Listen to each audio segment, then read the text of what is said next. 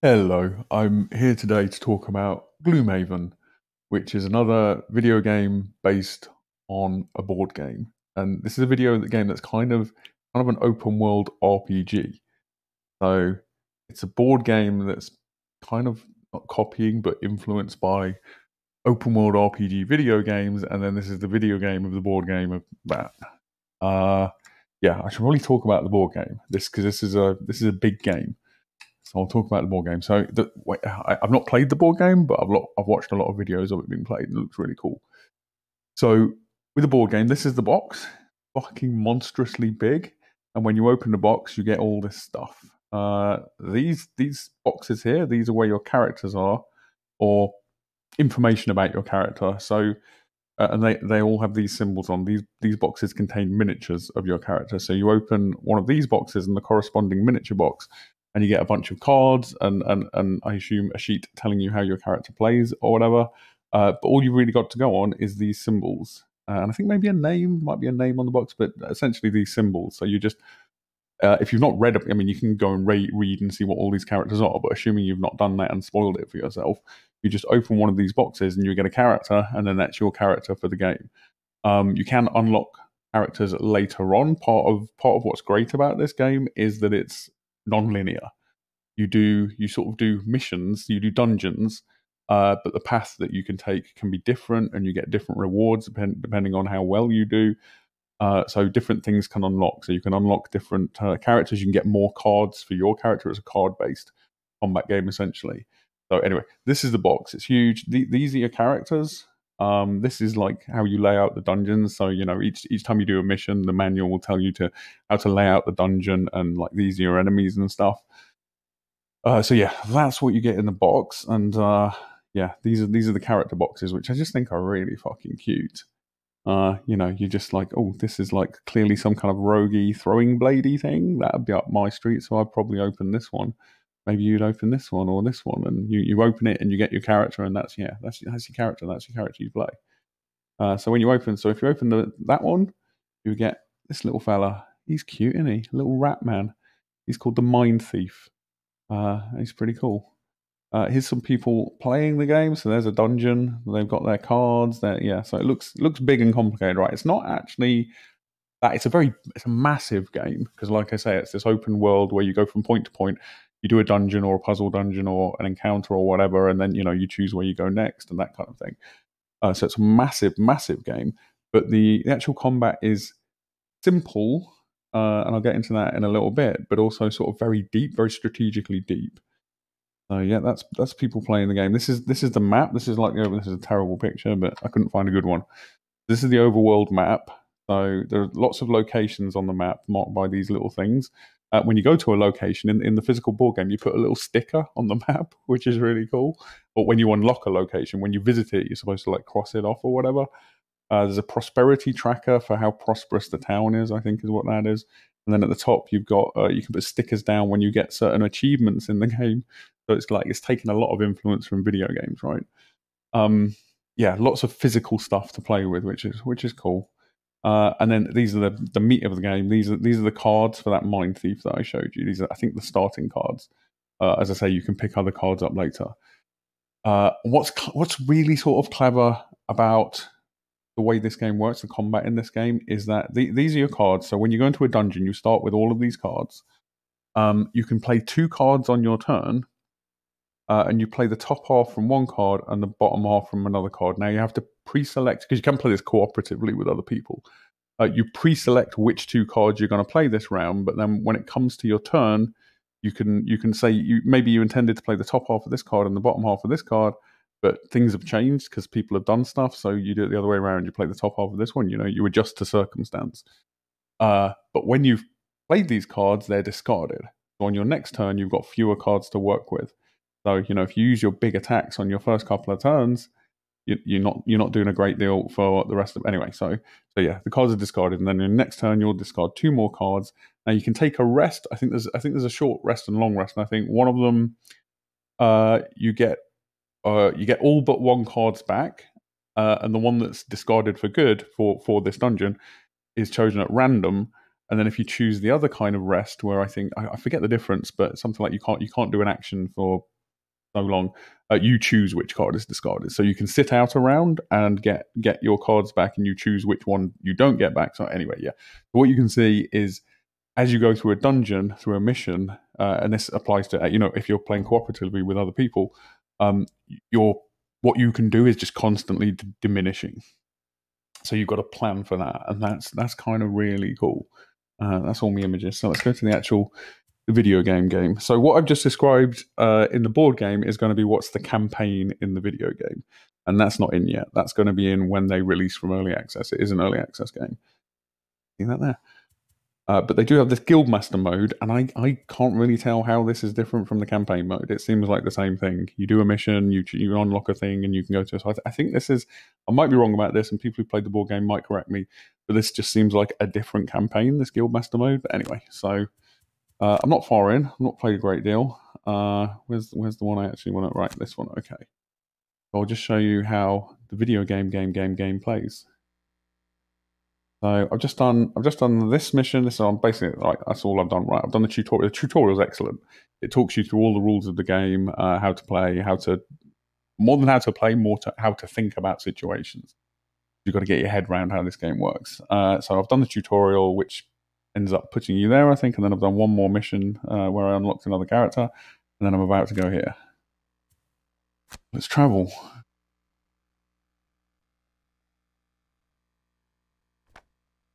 People listening to the dungeon.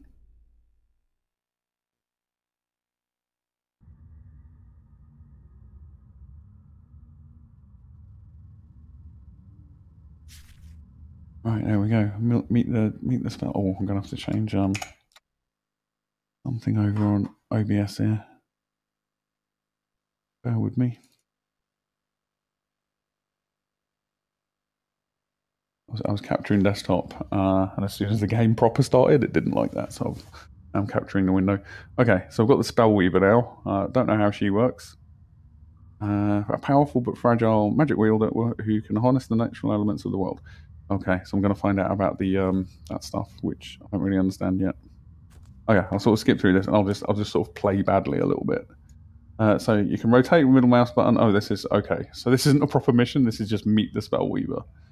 Okay, so the game's so because this is still it's still kind of tutorializing me. It's uh, giving me things to do. So so the, so the ice in this level is something like this. There's different elements, and they can be powered up by people's actions. So there's a lot of ice in this level. The element of ice is strong, so I can I, I as a spell weaver can make use of that. That's my understanding. That might be a little bit wrong. Um, these are my cards. So the cards are just represented here. Uh, obviously, you can mouse over them and, and get information. So yeah, top half, bottom half, top half, bottom half. So I've got three cards. I've got to choose two of them and use top half, bottom half from blah blah blah. What I said about the uh, board game essentially. So consume ice power to uh, consume ice to power up freezing nova and use a jump move to survive the round. So I've just got to survive the round. Okay. So consume ice. I want something that consumes ice, which I assume yeah. So that consumes ice. Uh, they don't, and they don't. So I, I, will be using that card. And now I want something, so that's on the top half, so now I want something with jump on the bottom half, which is that one. So end selection. So then the enemies take their moves. Or the enemies take their cards at least. So now I want to target all adjacent enemies and immobilize, and then consumes ice, so that's great. We'll do that. Uh, we click on that, yeah. So that will actually consume the ice, otherwise it hurts them less. Okay, so I'm consuming that ice that's built up on the level to uh, do that. And confirm targets. And, hurt everybody. That's pretty cool. And then these are all um, melee dudes. So now I've got to jump somewhere where I can't be hit next turn, I guess. Use a jump to move to survive the round. So jump. How far can I jump? Where can I jump? I'm just going to survive the round. I don't know where's good, really. We jump over there.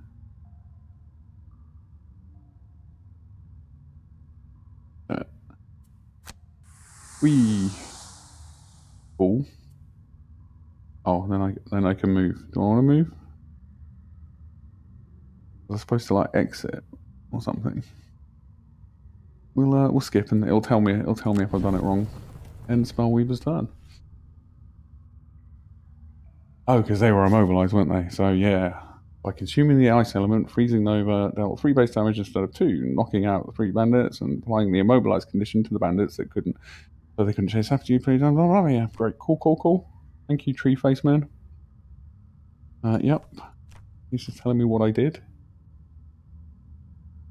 Uh, Spellweaver has a very powerful trick up her sleeve. Many other powerful cards may burn after usage, but the top half of Reviving Ether allows her to return all of her burned cards to her hand. Getting the timing right in this one, recovery, blah blah. So she's got a mechanism for recovering cards by the look of it. Uh, uh probably should have read that because now it just says kill the remaining bandits. So, oh, okay. I, I should have read that properly. I'll recover all your burn cards. Okay. Okay. These are my burn cards. So these are, there's discarded and there's burned. Some cards are burned after use. Some cards are discarded. Um, so I want to get that card back essentially. So long rest. Choose one discarded card to burn to recover all other discarded cards. Uh, short rest. Lose one discarded card at random in order to recover all, recover all uh, discarded cards. Uh, the short rest, long rest rather, by choosing the long rest, you will not be able to select another card for this round. So, do I gamble on getting that back? I've got a 50 50 shot at it, or do I take the long rest? Are they still immobilized? I don't think they are. Let's get a gamble, right? Uh, okay, so it's going to it's uh, oh no, that's the one. Yeah, no, that's the right one, right? Yeah, yeah, yeah, yeah. So I could, if if this wasn't the card I wanted, I could sacrifice one health uh, to change redraw essentially, which would mean I get the other card. But okay, that's that's what I wanted. Uh, and then I want to do that and that, I guess, because they're my only two cards. Uh, cool. Yep, yep.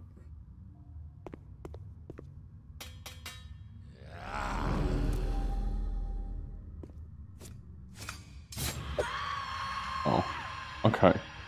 Well, that went poorly. uh, but, I mean, maybe that's enough. Hopefully you get the gist from that. We should have a look at the, um, should look at where the tutorial puts you. But you can see it's like quite strategic with you can't, you know, it's managing your, managing your hand, managing your deck. What's putting me back now? I'll go back to the, um, uh, I'll show you how it starts. There we go, Guildmaster. I did create a brand new one, so let's load that one. Oh, this is that one. Oh, I'm an idiot. Let's just start a new one. Confused. New adventure, uh, normal, guild name, Om Kolokolo. Uh, yep, cool, cool, cool. So full tutorial, story intro, or quick start. We'll go, we'll go full tutorial so you can see what that's like. Okay, I'm gonna, I'm gonna click through the stuff. Oh, it's it's interface it's interface tutorialing me. Uh, select trample. Uh, so it's telling me what cards to pick and for what reason. So I've selected trample. Continue. Should we? That's that's a bit too tutorially, right? Let's skip that. Uh, Guildmaster, new adventure, whatever that says. Uh, normal. Uh, we'll go story intro, experience the initial story and puzzle quest. Yeah, let's do that. Because if you want to do the tutorial, you can do the tutorial. You don't want to watch a video of somebody else doing the tutorial. That would be dumb. Uh, so blah, blah, blah, blah, blah. Go there. So these first few levels, especially the tutorial levels and that, they're kind of set up like puzzles. Like you've got to use, it's, it's teaching you how to use the cards. So it, it, it creates a very specific situation where you've got to use the cards in a very specific way um, just yeah to teach you to teach you how the game works and then later on it will be just like missions where you know you choose how you do it and that uh, so let's do this blah blah blah blah yeah okay they both have an innate shield one effect indicated by the shield icon so each point of shield prevents one damage from incoming attacks so i need to hit them more than their shield Uh, amount of uh, so if I pierce it, um, it, ignores shield. Uh, yeah, I'm gonna skip through that. And okay, so done, and I can shield myself. I'm probably gonna need to shield myself. Forgot how much. I think he told me how much damage they do. They do two damage. They both do two damage. I've got one health, so I'm gonna need some shield. And even with that, I'm not. I'm. I need to do something. So uh, pierce. I can kill. How much health has he got? Three.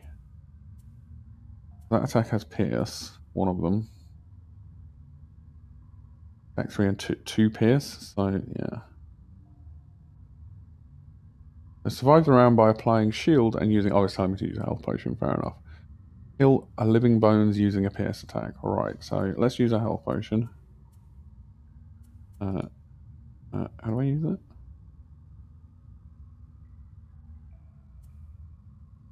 Oh, maybe I have to do that on my turn. Okay, so I'm using a shield, so let's. Oh, can I just use that shield? I don't know. So I'm going to use this card. It's got the shield on it, and then my only attack with Pierce is that one. So it's telling me to apply shield and use an attack with Pierce, and I've got to work out which cards do that. Right, so take my health potion. Uh, I'm quite sure how to take that health potion.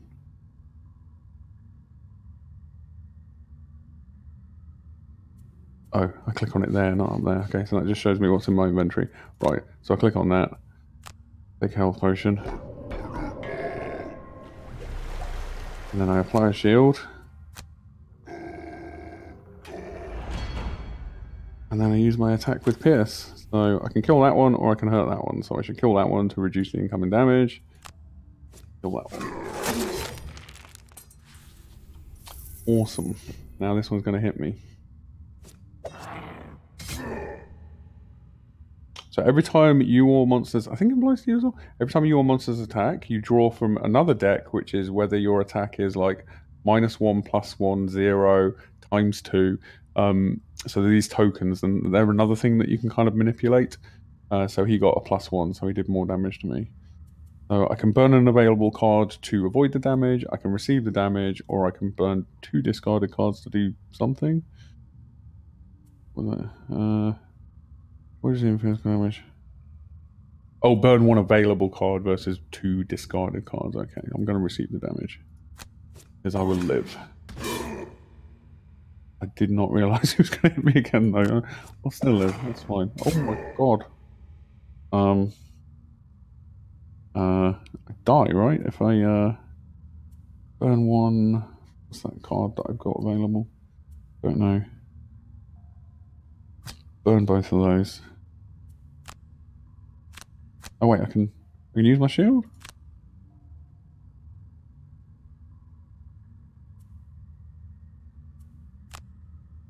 This, this is a problem when, uh, when I don't read it. Burn two good. I have two discarded cards. Why isn't it letting me do that? Let's just receive the damage, see what happens.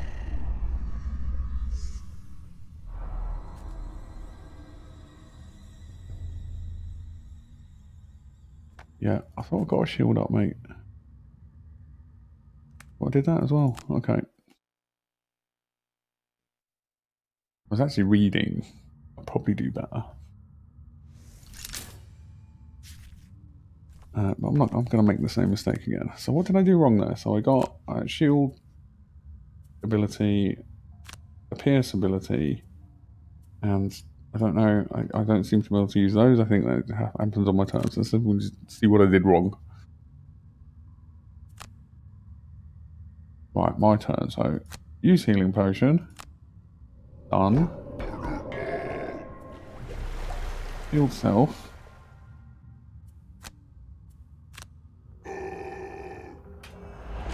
Done. I've got the shield. I don't think I have to do anything with the shield, do I? And then kill this fella. Right. Drive around by applying a shield and using a health potion. I've done that, haven't I?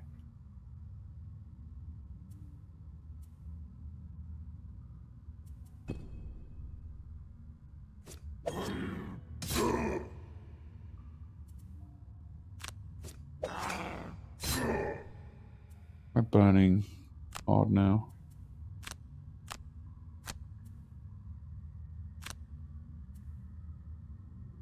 Okay, so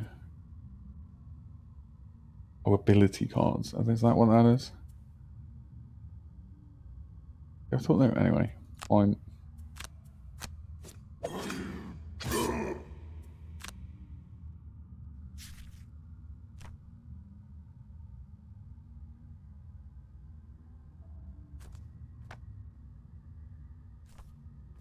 Okay, so it looks like I had to choose to use that shield because I don't think I've burned any other cards. Uh, right, so kill, kill the blah blah blah blah. I can attack for this, so that's not going to kill him. Uh, let's do a short rest. Uh, that's fine. Now I want to try and kill him in one turn, and he's got six health and one shield, so that's not going to happen, is it? Is it? Oh, I can push him onto the traps, can't I? So...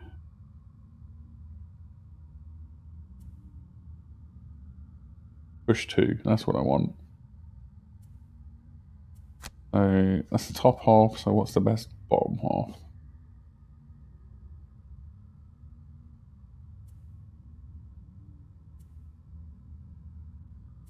I mean, probably that one, same that one. Let's see. Uh, continue. Okay, so let's attack him for two.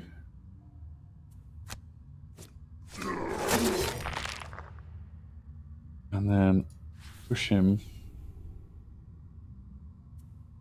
Push him. Him. Uh, is that all I need to select? Yeah, there we go. Wait, I didn't push him. Oh, now I choose where to push him. Okay. Let's push him through both of these traps. Uh, as you can see there. Lol. Fuck you, Skelly Bob.